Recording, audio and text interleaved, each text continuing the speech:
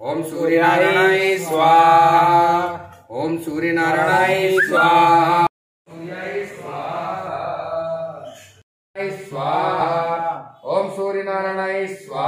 Daily world public school India number one emerging school जहाँ है academics sports and performing arts का बेहतरीन combination admission open from pre nursery to nine पहला उद्देश्य तो सूर्य नारायण ग्रहण भगवान पर जो सूर्य ग्रहण पड़ा है उस ग्रहण को देखते हुए जो जप और तप करते हैं, जितने हमने जप किए हैं, उसका दशांश हवन इत्यादि करने से सुख, शांति, समृद्धि मिलती है। दूसरा, हमारे देश में, पूरे विश्व में कोरोना वायरस, एक वायरस आया हुआ है। उस वायरस को, जो महामारी है, उसको शीघ्र अतिशीघ्र दूर करने के लिए, देश में सुख, शांति, समृद्धि के लिए, यश, कीर्ति के लिए ये हवन किया जा रहा है। इस हवन में सभी देवी देवताओं की आहुति लगाने के बाद गायत्री के पहले जप हुए, थोड़ा कीर्तन हुआ। उसके बाद में गायत्री के हमने हवन की आहुति लगाई।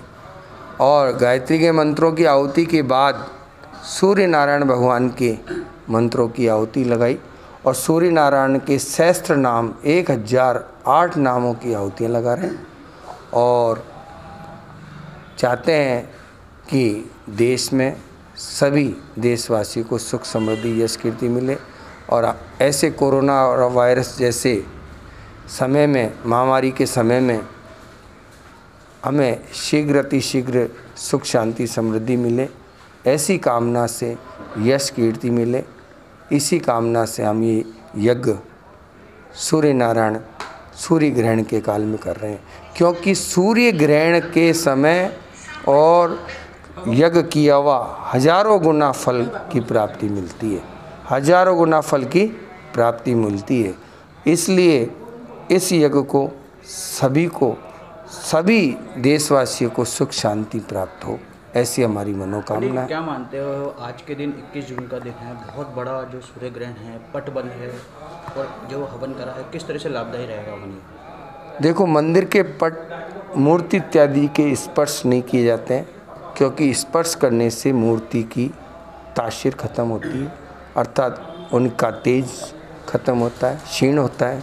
इसलिए मंदिर के कपाट बंद कर दिए जाते हैं और मंदिर के बाहरी पहले जप जप से हमें आत्मबल मिलता है, हमारी यश कीर्ति बढ़ती है और तप तप मतलब हवन इत्यादि करने से।